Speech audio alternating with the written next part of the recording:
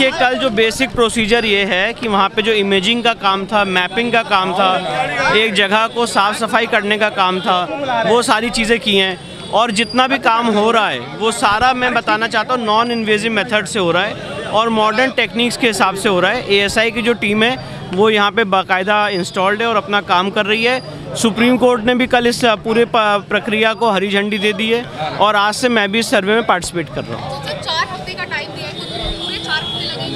अब देखिए, ये कहना भी बहुत मुश्किल है कि चार हफ़्ते लगेंगे, कि दो हफ़्ते में हो सकता है कि ये कितना समय लगेगा।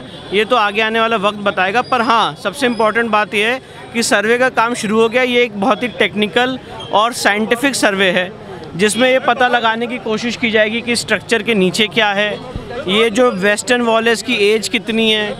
और क्या ये कोई नया कंस्ट्रक्शन है जो औरंगज़ेब ने 1669 में बनाया था? या उससे पहले से बनी हुई इमारत है? इसके नीचे जो है, वहाँ पे क्या क्या चीज़ें अवेलेबल हैं? जीपीआर किया जाएगा। तो ये सारी चीज़ें आगे आने वाले समय में होने वाली हैं। और जैसे जैसे सर्वे प्रोसीड करेगा प्रोग्रेस करेगा will keep briefing